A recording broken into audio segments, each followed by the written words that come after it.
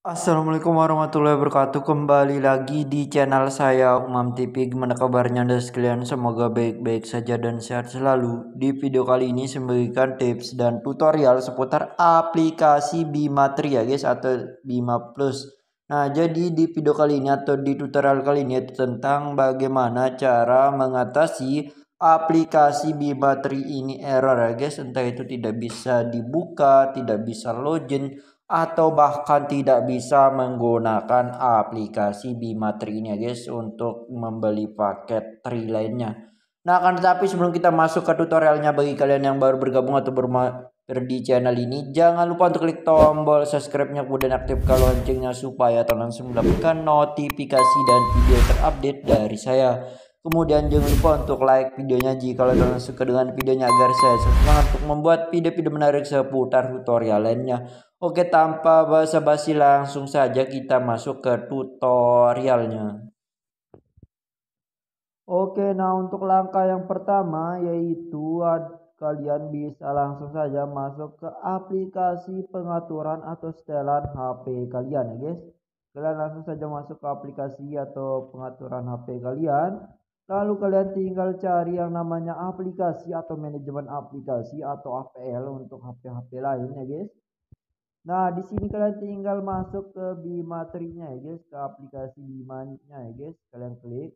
Nah, kemudian untuk langkah selanjutnya yaitu kalian bisa pilih paksa berhenti ya guys. Nah, di sini kalian bisa pilih paksa berhenti. Nah, kemudian untuk langkah selanjutnya kalian bisa masuk ke penyimpanan dan change.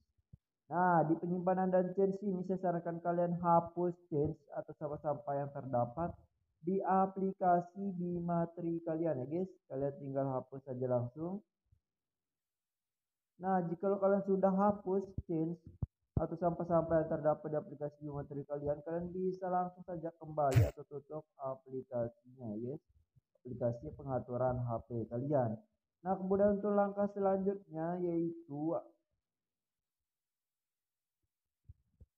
itu nah di sini kalian bisa langsung saja masuk ke aplikasi Play Store kalian. Nah, di sini kalian tinggal masuk ke aplikasi Play Store, lalu kalian tinggal cari yang namanya aplikasi Bima ya guys, Bima Tri atau Bima Plus.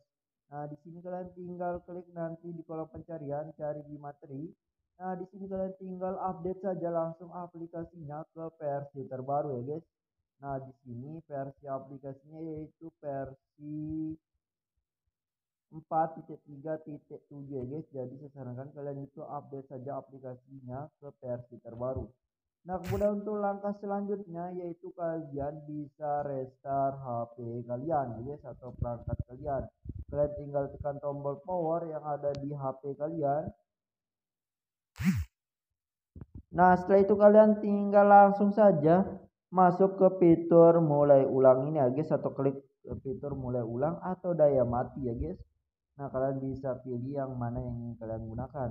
Nah jika lo masih belum bisa di sini kalian tunggu saja update sistemnya guys atau servernya sedang otomatis kita harus menunggu uh, pembaruan atau perbaikan server oleh developer aplikasi di materi ini ya guys Oke mungkin sekian tutorial tips yang dapat saya berikan di video kali ini tentang bagaimana cara mengatasi aplikasi di materi error.